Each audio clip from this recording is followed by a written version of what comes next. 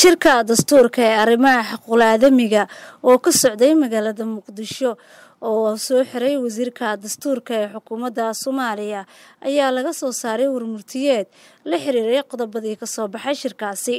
Afhayeenka wasaaradda dastuurka cabdicasiis xaaji goobdoon ayaa qodobadaasi akhriyey kow lahaanshaha dastuurka dastuurka waa heshiis bulsho oo saldhig u ah habka dowladnimada soomaaliya. Labo xuquuq dastuurku waa kan ilaaliya xuquuqda muwaadiniinta dastuurku waa kan ilaaliya xuquuqda muwaadinka soomaaliyeed asteeyana waajibaadka muwaadinka.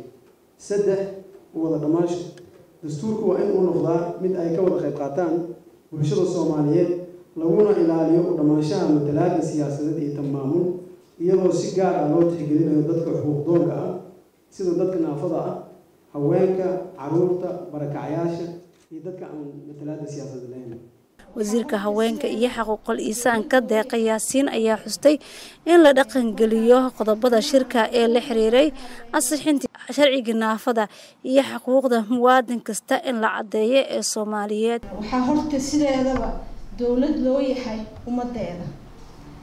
Markaan arrimaha aan xuquuq markaan ka hadlaynana waxa waaye dadka maaragtay naafada oo kale intaas soo sakraayay runtii aada iyo aada idinkaga mahad celinayaa sabarkii aada soo yeelateen.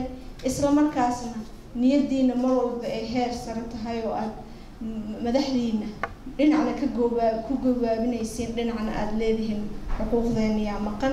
Wasiirka dastuurka ee xukuumadda federaalk ee soomaaliya cabdiraxmaan xoosh jibriil ayaa xusay in ahmiyad uu ku fadhiyo qodobka dastuurka ee xuquuqda aadamiga si ay iskaga arkaan muwaadiniinta oo dhan ahmiyad gaarna u leeyahay dadka qaba baahiyada gaarka.